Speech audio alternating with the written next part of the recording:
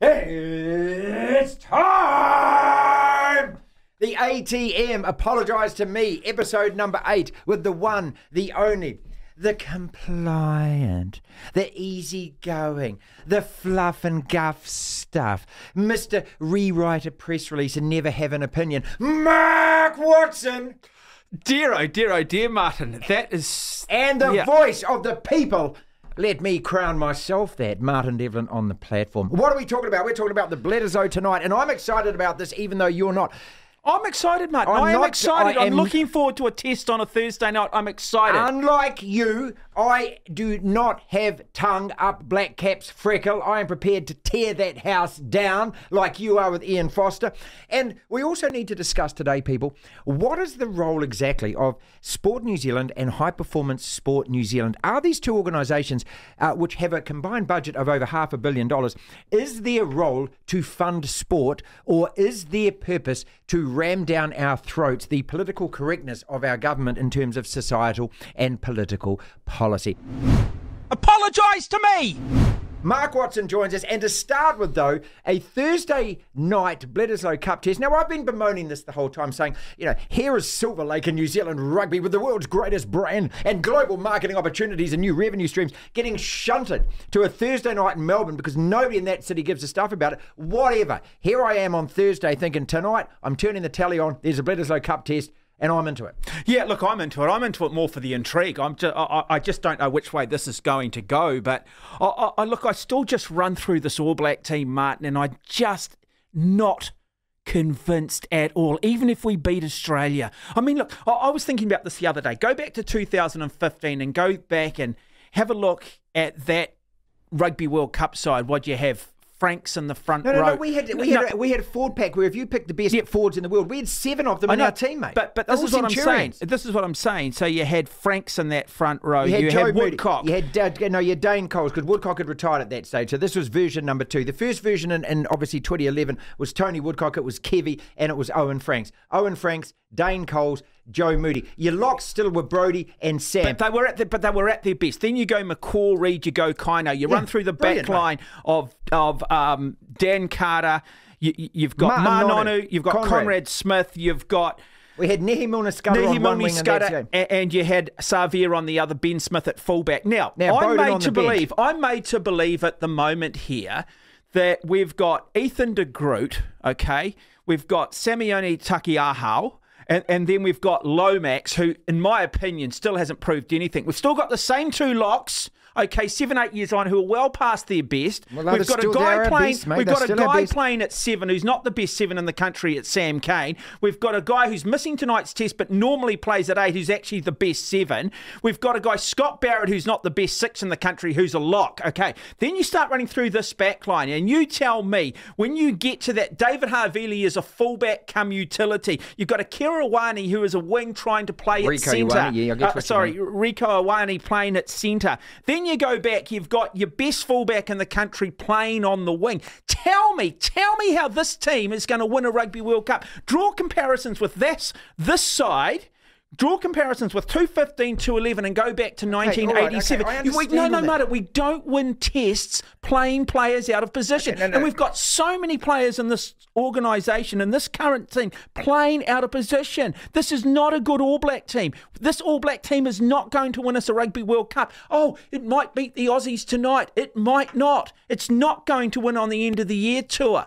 This Okay, is so a much, dreadful so much, time so for All Black rugby. So much to wade through here, right? And I'll, look, I'll put the I'll, I'll, I'll put the deep sea waders on here because I mean I'll, I'll start in the surf at ankle level and I'll keep going. Watto. For a start, you are comparing something that you can't compare. Let us go back through any sport. Okay, you're looking at a Man United side at the moment, and I could name all the players in my team at the moment, and I could go back to two two ten uh, before that 1998. I could go back to the early 1990s. It's not the same side because the players aren't as They good. are there. They, no, They they're are not. there. They're not. They're not as good. Those players. Those players are not Roy Keane. They aren't Ryan Giggs. They aren't Jaap Stam. They aren't Rio Ferdinand. These players aren't those players. So you've got to make do with what you've got. You can't compare the All Black side at the moment to that 215 side because not only did we have legendary players in all those positions, we had guys who were the best in the world in their positions. Now you've just run through this All Black side that runs out against the Bledisloe for the Bledisloe Cup tonight. How many of those are world class players that you would pick in a World 15? Maybe Ardie Savea. But who are the rest, Mark? Who are they? well, and if that's not the case, then then name me an All Black side that is going to be the best in the world out of all the players in the country at the moment. You tell me, and I'll laugh in your face, mate, because Okay. we don't have this Okay. playing style. So you you like all the other fans out there are so cheap. You'll go, let's blame the coach, let's blame Ian Foster, mate. I could bring Wayne Smith and I could get Ted back, I could get Shag back. None of those guys are going to turn this particular 15 into a world betting side because the players aren't good enough yet. I, I disagree, and I think when it comes to the end of the year tour, and Schmidt and our forwards coach Jason Ryan. Jason Ryan have a greater influence and pick the squad they want to pick to go who on the end they, of the year tour. Who are Well, they? You know who I'd start at centre right now? Oh, I think it's the best centre in the country by a mile. We'll start in the front row. Ale- Alex Nankivell. Start in the Alex front row, Nankivell. Let's God's start. Set it. go. Oh, because what? He's not on the cover of Women's Day, Martin. He's not on the. going to rock like Oh, okay. Alex Nankivell. Well, I mean, for God's sake, you're picking Caleb at centre is what you're doing, mate. Tell me what's wrong with Alex Nankivell then. Tell me what's wrong with Alex He Nankivell. won't bust a tackle ever in his life against an opposition that actually fronts him up and tackle, and like the South Africans or the England or the and French, what mate. Conrad Smith did? Well, you give me a, you give me somebody that stands next to him who's the tackle breaking guy. You tell me who are who are those guys in our team tonight? Who is actually going to bust a tackle? Well, you've got guys like Roger Tuivasa-Sheck who have not been given opportunities. Look, you, Well, he's obviously not up to it. If he was, they'd pick him, wouldn't they? Martin, I disagree. I mean, with- what have you watched him play for Auckland in the NPC? You're telling me you're going to pluck that guy out now, put him in the All Black backline, and say, Roger, go. Do we even know where the second five is his best position at the moment, Mark? How do we know? What, David, Har- David Havili? How many tests have we lost with David Havili and Akira One is our midfield combination this I'm year, not Martin? saying. I'm not saying. I, I actually agree with you. I'm not saying that those guys are the the number one and two in their positions, but I'm just saying. Pick me an All Black team out of the current playing stock. I've been watching NPC. I've been looking at these guys going. I mean, half of this NPC looks as though it's actually club rugby is the standard. There are so many errors and bumbles and fumbles and things. You're telling me who are those world class players at the moment, mate? Our playing stocks are as low as they have ever been. I think they're squeezing a sponge here. Quinn Tupaia Now, he's the guy now, is he? at second five Oh, eight. he's the guy Alex now? Nankivell at centre. Oh, for God's sake! Akira. Really? Rieko Ioane on one wing. We don't. I'm gonna make. I Caleb don't Clarke pick on the- or two midfield, mate. Caleb- an All Black midfield. Ca- Caleb Clarke on the other wing. yeah, he's cement. okay. absolutely. Will Jordan at fullback. and who's and who's on the other? Who's on the other wing? Caleb Clarke. No, who's who's on who's on the right wing if Will Jordan's at fullback? Rieko Ioane. You put him back at the winger. He's the best winger in the world, My God, he's a genius. He's an absolute genius. You're not going to play a winger on the wing, are you? I am. Why would you do That's that? That's exactly my point, though, Martin. That is a, and Hoskins Sotutu. When do we have the Super Rugby final? What, the 18th of June? Hoskins Sotutu hasn't played for three months, and now he's going to come in at plant number eight tonight. He's going to come in and play at number eight tonight. On the guys that running this team are absolute utter morons, Well, mate. okay, they're painting by numbers, and and and and the reason they're doing that is because this team has been so inconsistent that all they care about is winning this Test match tonight. You're talking about a World Cup that is next year, mate. Forget next year. Why don't we just first start establishing a consistent side that performs every time they actually play? And that's what we haven't seen yet. You don't know what side turns up tonight. I don't know what side turns up tonight. Isn't that part of the mystery of it now, though? No, Isn't it? no. Oh, you just want an All Black side that wins by 40 That's points. what we've historically done. did- That's what historically we've done, they Martin. mate, That's what historically we've all done. you did was moan. It was too bloody easy, and we're winning by too I much. never ever complained and moaned when one of we were those too guys. easy. I tell you what, I will was not, paint you into that corner if I have to, Watto. Okay, in Melbourne tonight, how good is this Australian side? Does it really matter, or is it all about how much, how well we play? Well, no, this Australian side, how you beat Australia is, and where they're very good at historically getting us, they we think we've got to run round them. You run straight through the Yeah, you Australian do, backs. yeah. You run straight over the top of them. But look, you do go through. It's an interesting one. Bernard Foley at 10. Oh, please! I mean, come on, mate. Really? Is that what Andrew Kellaway at fullback. Bernard Foley, you've got to run it. You've got to roll him out again, do you? Okay. You've got Gordon at halfback, who's Really? probably been He be- arguably he the most make- formed he player in Australian one of our rugby. first pick super super rugby sides, would he? And neither would Foley. Mate, then start in the All Black team, oh, mate. Oh, please. What do you expect tonight from the All Blacks? Do you expect the first test against Argentina, the second test, the first test against South Africa, or the second test? Okay, I'm not a coward wise after the fact, and I'm open for criticism tomorrow, but I think this Wallabies team will go close to beating us tonight. I don't think we'll front up again. I think we'll go missing. I think Australia have got the benefit of having watched Ireland beat us last year, France beat us last year, Ireland beat us this year, Argentina, South Africa. They know the blueprint for beating us. Well, what is we that? still haven't proven. well, Give me the blueprint. Just, just out muscle us early. Just get up, be more physical. Just dominate the breakdown. Just bro- dominate the cleanouts. Just get up flat in defence. See how good Rieko Ioane is when he's not given any room. That's the thing. See, I That's think what that's the you've key got there. to do. I think that's you've the got to get up flat. You've got to shut these guys down. Don't give them And space. they, and they do not have. They do not have the mentality, or maybe the fact that they are so over resourced, they don't actually know how to think for themselves anymore. It'll require them going into half time to be told what to do.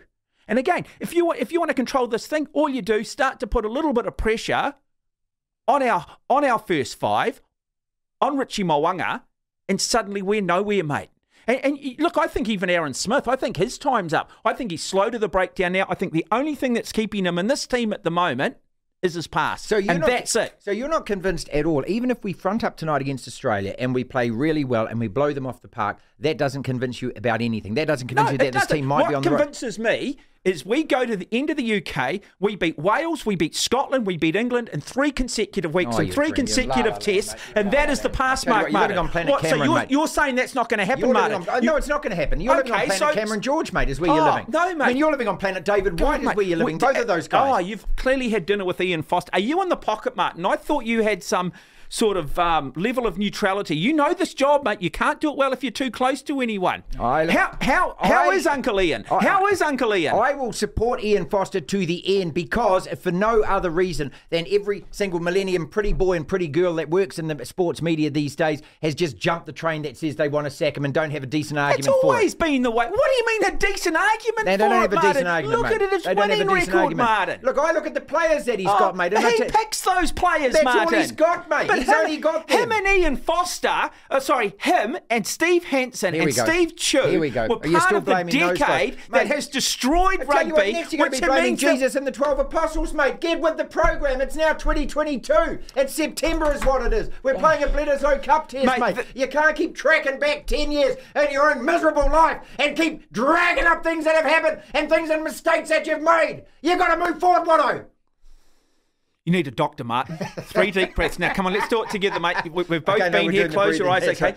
Breathe. Tied in, tied tied out, Tied out, tied yeah. in, Aeroplanes tied out. That's it. Now, aeroplanes just landing. Work on your breathing, Martin. Work on your breathing. Let us work move to on the your Black breathing. Caps then, people, because this is... Hey, sorry. So, who's going to win tonight? Well, the All Blacks are going to win. I always say the All Blacks are going to win. I don't Okay. think it'll be easy, but I think they will get out by about 10 to 15 in the end because I, I don't think that the Wallabies have enough weapons to hurt Okay, us. and if we lose, I will I will publicly say that I, No, I no, might have been mistaken No, and no. you might have been right on this one instance. But see, you don't have to, Martin, because this is what I, this is what annoys me in the media. This thing about, oh, you told me that they'd lose. You don't know what you're talking about. No, no, I'm not a coward wise after the fact. I'm prepared to make a statement, and if I'm wrong, I'm wrong. Right, but well, I'm not going to be one of these gonna people that's going to form an Just opinion wrong afterwards. Just say you're wrong now. Say I was wrong today when I said what I said. No. Say it now. You might and as if we lose, is Ian Foster still your boy? Yes. Because he's not, because everyone hates him and I, I want to be on his side for no reason other than just to be contrary, if nothing else. Apologise to me.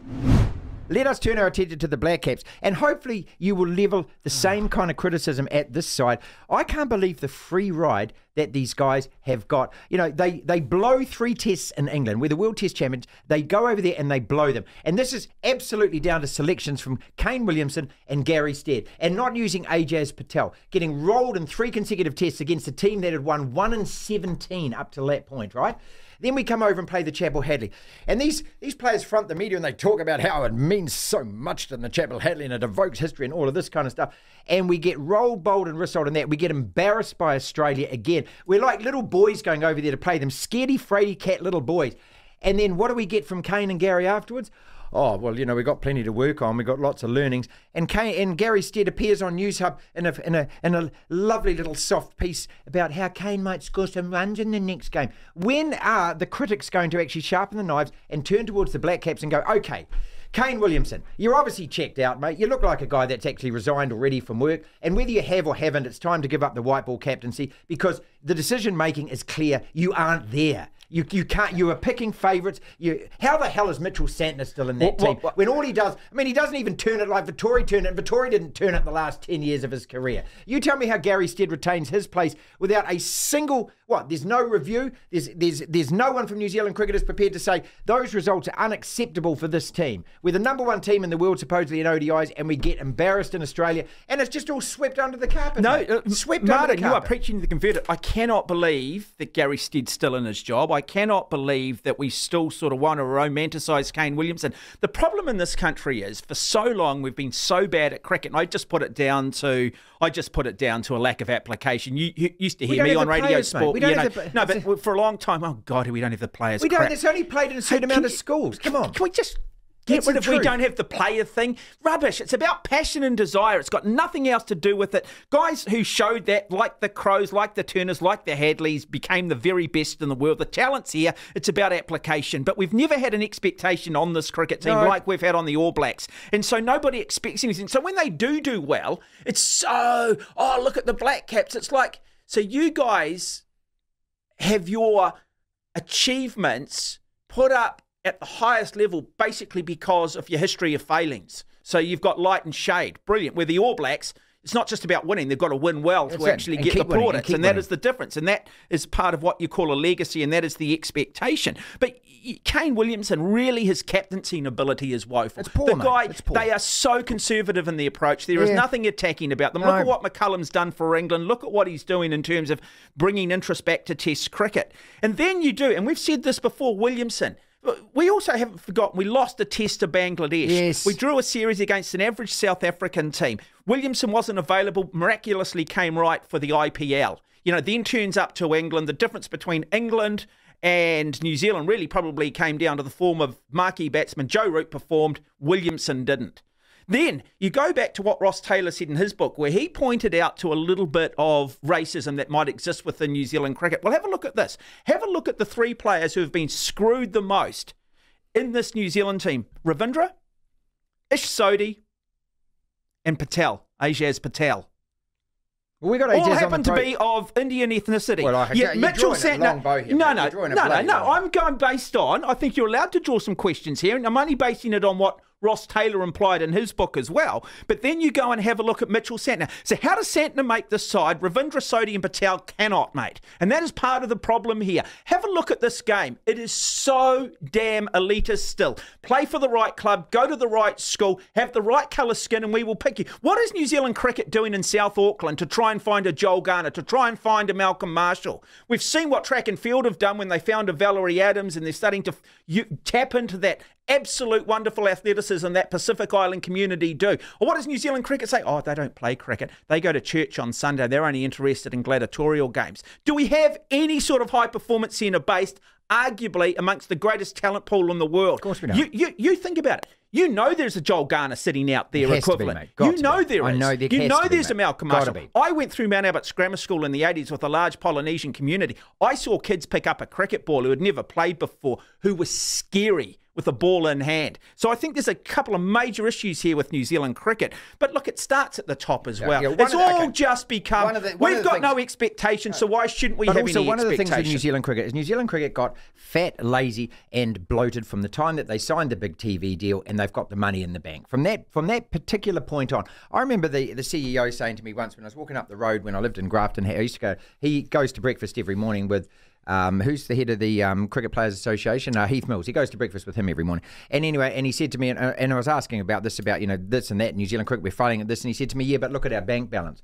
That, uh, that was a direct quote. And I said to him at the time, I said, Really? I said, That's it. I said, Test cricket's dying. You've got nobody playing the game. Nobody's watching the game. And all you care about is whether or not you've got a fat bank balance, mate. Yeah, but this is the problem. You talk about the depth of, you you talk about where the playing quality and numbers are in All Black rugby at the moment. Where's the depth?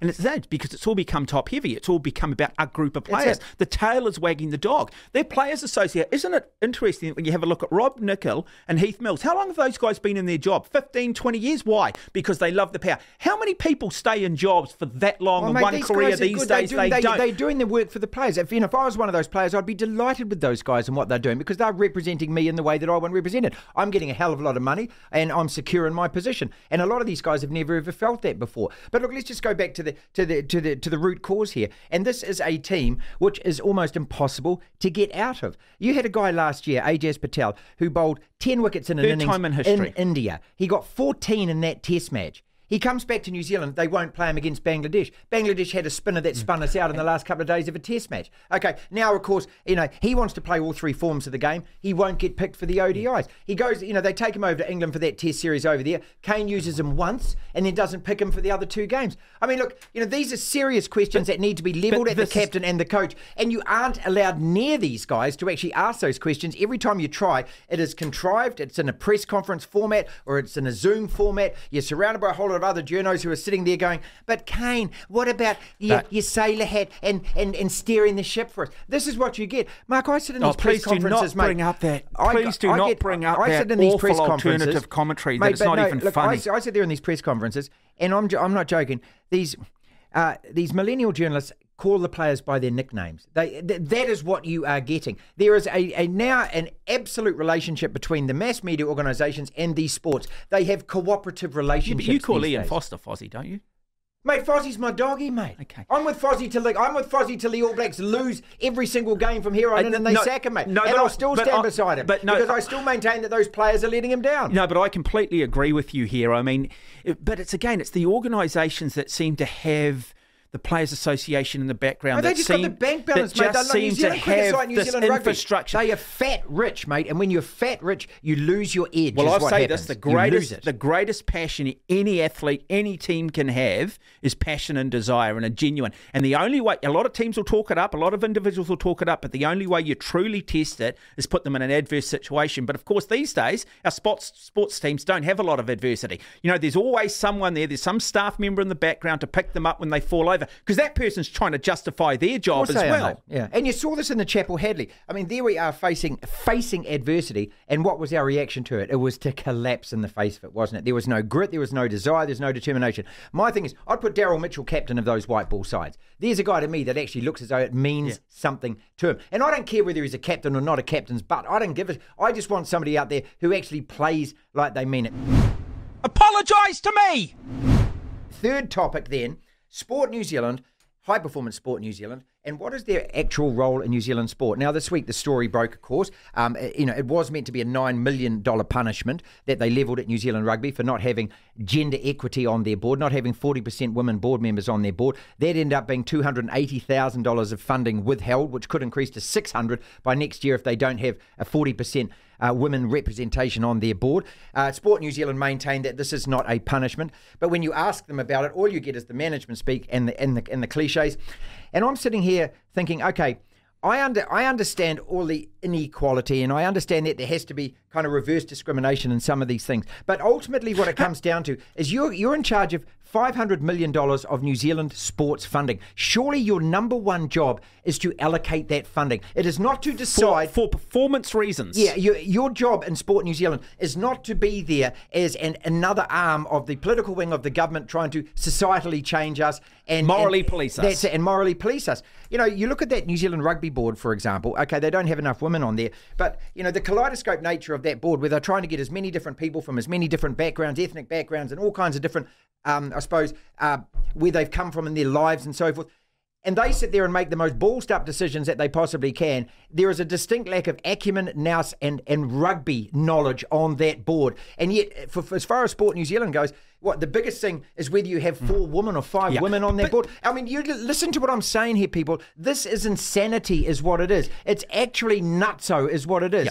Just to think that because you don't have a penis, you should be on this. What what with New Zealand rugby at the moment, they can't attract any women. There are no women want to go on this board. no. So what do you do? You're just going to walk down the street and find somebody and say, you don't have a penis, therefore you should be on the board of New Zealand Rugby. That's how silly it actually is. I understand having to get some kind of gender equity if that's what we want Hmm. as a world. I do understand that. But you've also got to at the same time maintain a level of excellence. You can't just blanket and go, hey, this has to happen by this date. Because if there aren't the people available, there aren't the people available. No, no. Look, Martin. Look, uh, uh, and there's a number of other issues. I mean, I look at Sky Television as well, where you know Sky Television seem more interested in getting a headline around having a female rugby league commentator for the first time, or sending five women off as journalists for the Olympics or Commonwealth Games. It doesn't matter whether they're best. Meanwhile, you know their share price is sort of at 24 cents, and there's a lot of people out there that bought their shares at one dollar, two dollars, three dollars. They actually just want to see a return, not really interested in the headline.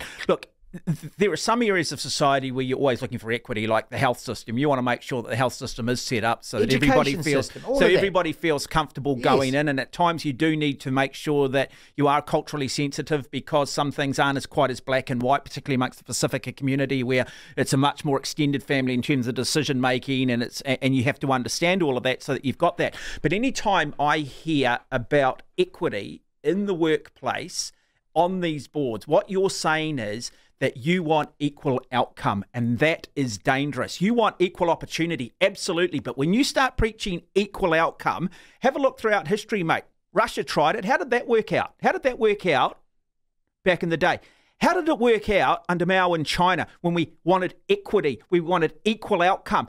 Nazi Germany tried it. How did that work out? Now that Ooh, might I sound mean, a little bit extreme. Well, it is extreme. No, but it's not extreme. It's bloody extreme. No, because the I- about fascist no, dictatorships. No, but but, but the ideology is exactly the same. The ideology is exactly the same. And then where does it stop? So suddenly we've got to say forty percent women. Then we're going to have fifty percent women. Well, how many of those women are allowed to then be European? How many have got to be Chinese? How many have got to be oh, Samoan? Well, the, I mean, and, and, and, then you keep breaking it down, breaking it down. I don't care whether ninety percent of the New Zealand rugby board are women, as long either. as they're the ones that are qualified and can bring areas of expertise financially from a playing point of view, from a club point of view, and basically represent all the different stakeholders that make up sport. Tell me how the sense, board mate. of Bike. NZ worked under its rationale of 40% women. Now, I'm not saying the women are to blame for what's gone on there. You just well, want the best people. They are culpable as much as anyone else No, but this is what you've talked about. And so you go and say, who wants to be on the board of New Zealand Rugby? Now, you get 200 guys who will put their hand up. You might get 10 women. Okay, you've got 10 spots.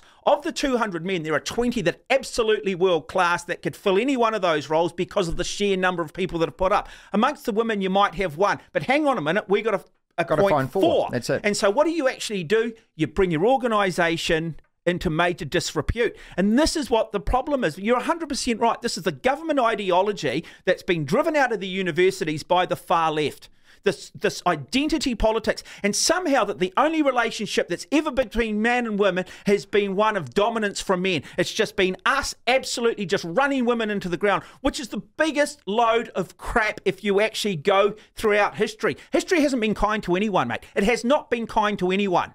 That's the harsh reality of it all. And, and, and I'm, I, I just get so frustrated by, by this path that we're going down. What you're basically saying is you don't trust any men in today's society for actually representing and being able to look after women no. because we're all chauvinists and we're all pigs, all pigs and, we're, and, and, the only thing we're interested in is men. That's what it. an absolute load of rubbish. And to just cast that right across all of man right across society is exactly what is wrong dumb. today, mate. It's dumb and it's stupid. Dumb. It's not. I mean, and it just doesn't stand up to scrutiny. That's the other thing about it. And this is this is what this is what frustrates me about the Sport New Zealand ruling. I mean, they're sitting there, and you know, this is how ridiculous it is. People, they're sitting there patting themselves on the back, going, "Oh well, we told those rugby, didn't we? I mean, there's four women on the board, or else you don't get the money." New Zealand Rugby have turned around through Stuart Mitchell, the chairman, and said okay, well, even though this money's allocated towards community and that, um, well, it won't actually affect any of our programs, which is him saying we don't actually need that money. So New Zealand Rugby saying we don't need it anyway. Sport New Zealand are patting themselves on the back, and I'm sitting here going, there's $280,000 that the All Whites could use to actually organise games.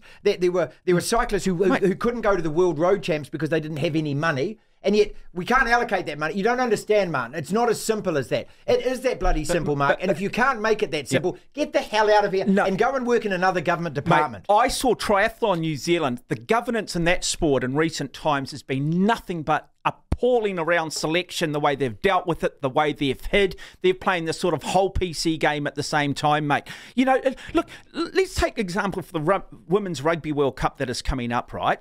Hey, suddenly we've got to have females calling it as the lead oh, commentators oh, and the expert commentators. The problem the is, and, and, you know, we've got to make God sure that eighty percent or ninety percent of the team presenting are women, right? And I've got no problem with that as long as they're the best. If I'm wanting to build the audience of women's rugby, I go and get Nisbet. I go and get See, Tony is- Johnson. see, is- I get the best this is- this is- commentators no, this to bring question. credibility to it Yeah. and to sell it. now we've got question. a couple of good female commentators starting to come through, but as a whole, let's be honest. A lot of them are cringeworthy. Well, they They're are, they are cringeworthy. You switch off. that's because they've and so no you're trying to build mate. a product, so you want to play politics rather than actually just doing And- go woke, go broke, Martin. and some and it is it is as stupid as uh, you know you're sitting there and as women and I, I would want I, I'd love to know honestly what the women who play think and what women who are fans of this game think as well. Do are you obsessed with the fact that all you want is females on the screen presenting to you and commentating? Are you? Is, is that what women is that what women really want? I- because half the audience, remember, is men. So I'm with you. I just want the best ones, and if they aren't trained up at the moment and they don't have the experience, Yeah, let them build let organically. them- Let, it grow, but do not like try and everything else, manufacture it. Do No, not try no. and manufacture it. It's all about manufacturing it, mate. Absolutely. it's- Speaking that's of manufactured, mate. Have you heard about the family that grew up in Taranaki that played rugby in the Oh, backyard, the Barretts? Can we what, talk about the both Barretts? Of those are gonna Can we talk about the. Barretts? Both Oh, of those Barretts on, are going to win the Bledisloe Cup for us tonight, Watto. And oh. tomorrow I'm getting you back on the show, and you're going to say, Martin, you were right. Devlin, I was past to COVID. I met me missus. the platform.